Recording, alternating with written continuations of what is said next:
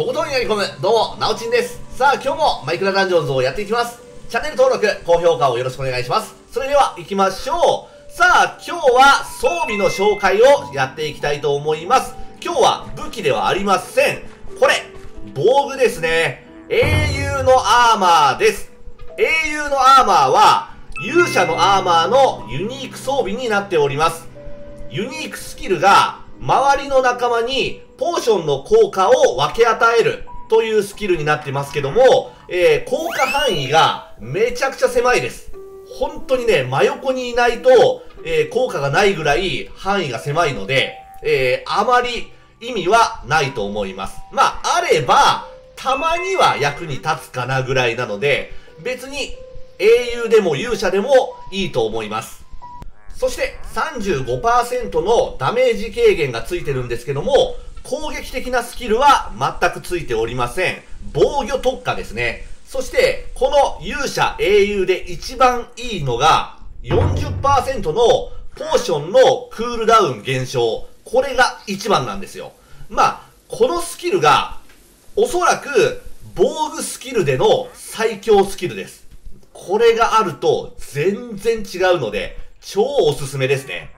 このポーションのクールダウン40%減少、勇者と英雄、そしてミステリーにもつくことがあります。まあ、探してみてもいいかと思います。まあ、俺はもらったやつしか持ってないんですけども、自分でも探したいところですね。そして、おすすめのエンチャントに入っていきましょう。まず、二つ、絶対に必要なエンチャントがあります。それが一つ目、クールダウン。これはいりますね。そして、ポーションバリア。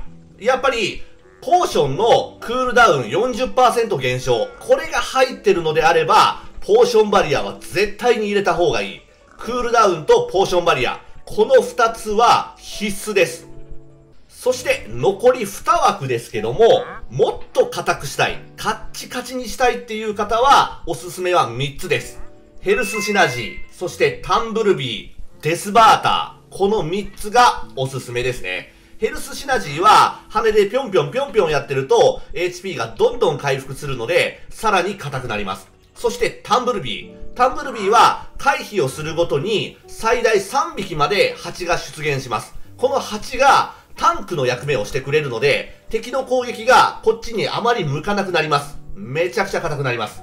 そして、デスバーターですね。えー、エメラルドを50犠牲にして、一度ダメージを受けても、えー、生き残るというやつですね。これは保険になるので、えー、単純に硬くなっていい感じですね。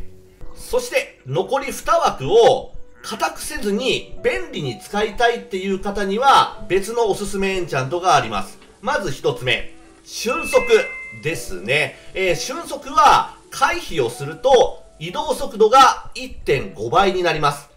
えー、効果時間は短めなんですけども、まあ回避なんて羽でぴょんぴょんすればいいので、常に1.5倍の速度で歩くことができます。これは便利ですね。で、それと同じようなエンチャントで、スピードシナジーというのがあります。えー、アーティファクトを使うと、移動速度が1.2倍になるやつ。1.2倍ってね、結構微妙なので、えー、スピードシナジーよりは、瞬速を入れることをお勧めします。そして次は、帯電ですね。帯電もおすすめです。えー、回避を行うと、周り2体に、えー、雷ダメージを入れます。これがね、結構ダメージがあるし、さらには盾を持ってる敵が出てきた時にはかなり便利に戦うことができるので、帯電もおすすめです。そして、サプライズギフトもおすすめです。サプライズギフトは、ポーションを使った際に、1つか2つアイテムを、えー、落とすっていうエンチャントになるんですけども、特にこの勇者英雄、ポーションのクールダウンがついてるので、発動しやすくなるので、かなりおすすめです。やっぱりね、常にパワーポーションとか、そういうのを飲んだ状態で戦うと強いよね。そして、毒フォーカスもおすすめです。えー、毒フォーカスに関しては、怒りを使わないと意味がないんだけども、まあ、怒りとか、えー、ツタのムチ、あの辺を使うのであれば、毒フォーカスがかなり効いてくるので、まあ、使う人は入れてもいいと思います。そして最後のおすすめエンチャントです。ライフブースト。これおすすめですね。えー、一度も死なずに軽くクリアできるよっていうところだったら、全く意味はありません。意味はないんだけども、高難易度で、えー、ちょっと死にまくるなっていう場所では輝きます。一度死ぬと HP が33%増加されていきます。なので、1回死ぬ、2回死ぬで、どんどんどんどん耐久力が上がっていくので、難易度がだだ下がりになります。これはね、高難易度にはいい感じですね。どれぐらい上昇するのかというと、263の防具を装備した状態で、1回死ぬごとに HP が100万増えます。100万だよ。なので、ものすごく、えー、難易度が下がりますので、高難易度ではおすすめのエンチャントですね。そして、使い方が一番難しいと言われてるエンチャ、無謀ですね。無謀も勇者とは相性がいいです。えー、無謀は HP が60%減少するけども、攻撃力が1.8倍になるっていうエンチャントなんですけども、えー、勇者は、大体ポーションバリアをずっと使っていける状態なので、えー、無謀との相性はいいです。なので、えー、もしも出た場合は、使ってみてもいいんではないでしょうか。やっぱりね、慣れは必要なのよ。HP が60%減って、ものすごく柔らかくなるので、えー、慣れは必要なんだけども、えー、慣れるといいのかもしれない。俺もまだ試してないんですけども、絶対いけると思う。はい、ということで今日はこれ、英雄のアーマー、勇者のアーマーですね、の紹介をやっていきました。えー、話によると、海外の人たちは大体この勇者英雄を着てるっていう話なので、ものすごくおすすめできる防具ですね。